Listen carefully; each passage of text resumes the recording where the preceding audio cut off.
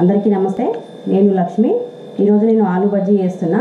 దానికి కావాల్సినవి ఏంటి ఏంటి ఏమేమి పదార్థాలు అనేది చూపిస్తా. దాంతోపాటు ఎట్లా చేయాలనేది కూడా చూపిస్తా. ఓకేనా ఫ్రెండ్స్? శనగపిండిని కొంచెం ఇట్లా జల్లడ పట్టుకోవాలి. ఏమైనా పురుగు లేదా కొంచెం ఏమైనా దొడ్డుగా ఉన్నా కానీ అంతే వెళ్ళిపోతుంది.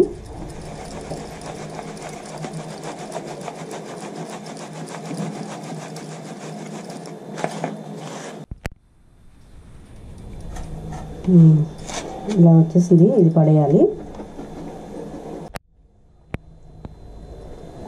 ఇప్పుడు ఈ పిండిని ఈ బగోన్లోకి తీసుకోవాలి.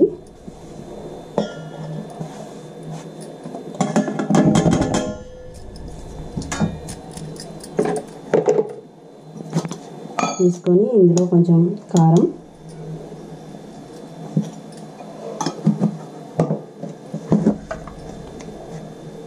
ఉప్పు.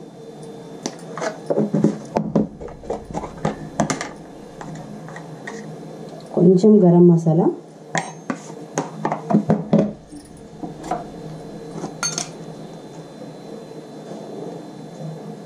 కొంచెం సోడా వంట సోడా. ఇవన్నీ కొంచెం ఇట్లా మిక్సీ చేసేసి దీన్ని కొన్ని కొన్ని నీళ్ళు పోసుకుంటా తడుపుకోవాలి.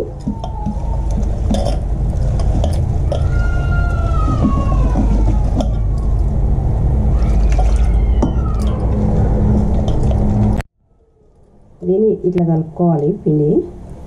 ఇది కలుపుకున్నాక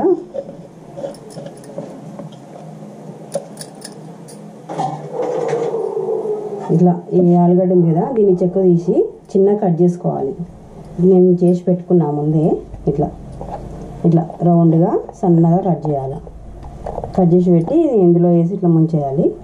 నేను చూపిస్తాను స్టవ్ ముట్టించి కడాయి పెట్టుకోవాలి. కడాయి వేడైన తర్వాత డీప్ ఫ్రైకి సరిపోయేంత నూనె పోసుకోవాలి. కడాయి వేడైంది నూనె పోస్తున్నా. ఇట్లా ఇవన్నీ ఇందులో పిండిలోనే వేసుకోవాలి. వేసుకొని మొత్తం అన్నిటికీ పట్టియాలి ఇట్లా.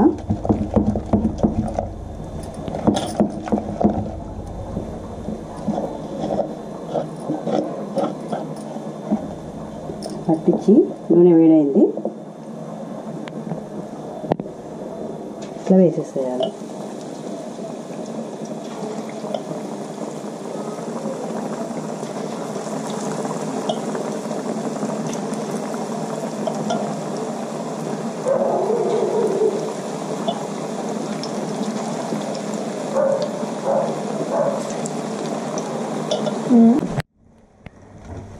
ఇవి తిరమరేయాలి ఒకసారి చూడండి ఇక్కడ బ్రౌన్ కలర్ వచ్చేసినాయి ఇటువైపు కూడా బ్రౌన్ కలర్ వచ్చేదాకా ఉంచుకోవాలి.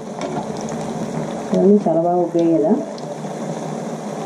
వంట సోడా వేసేసరికి మంచిగా ఉబ్బినాయి. సింపుల్గా వేసుకోవచ్చు ఇంట్లోనే.